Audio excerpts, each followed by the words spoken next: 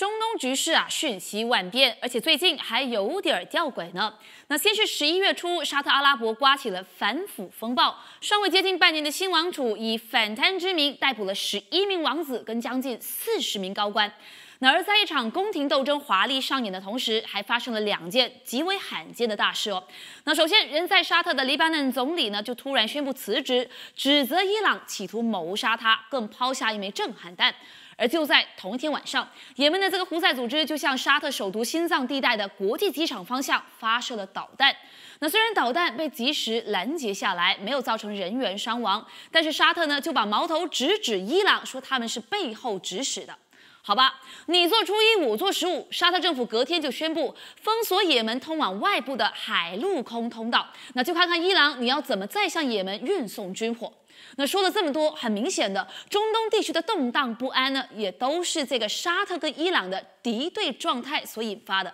这两个死对头虽然不选择直接开战，但是这中东两大国在也门博弈，斗谁的拳头比较硬的同时呢，被伤得最重的其实是也门一众老百姓。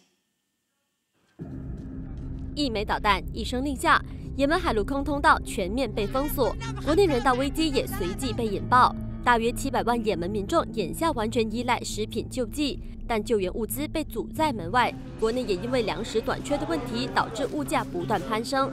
当地民众要用比平时贵一倍的价钱去买日常用品，有时候有钱也买不到。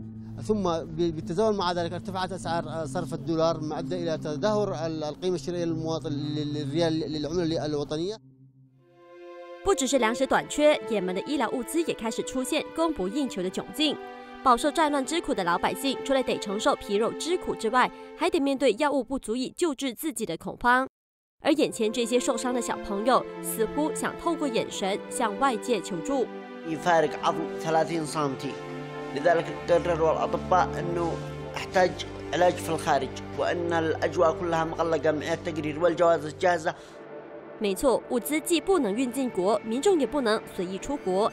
眼前所有商品物品都非常缺货。为了避免添到价高的燃油，加油站外已经出现车龙。另一头也有不少的民众赶紧扫购食用煤气，为不明的未来先做好准备。沙特封锁的行为直接把也门数百万人的生命置于危险之中。外界担心，如果也门的海陆空封锁再不解除的话，当地或许将面临前所未有的大饥荒。